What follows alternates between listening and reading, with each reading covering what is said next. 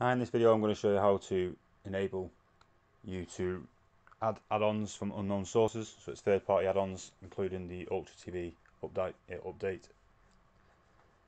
device. Um, so basically what you want to do is if you've got Kodi already installed and Ultra TV then you go to settings if not it's just a blank screen you go to system and then you want you get this menu up on both and you want to go to system if you've got Ultra TV already installed then it'll already be advanced. If not you need to go down to the bottom here and it'll say something here like standard or something like that. Just keep clicking it until you get advanced or expert. And then you want to go to add-ons and then you go here it says unknown sources and you just press select so it highlights it. You'll get a warning message and just go to yes and that's it done. You can now add on uh, you can now add the add-ons from unknown sources like Exodus, Specto, stuff like that. Alright, thank you very much for watching and goodbye.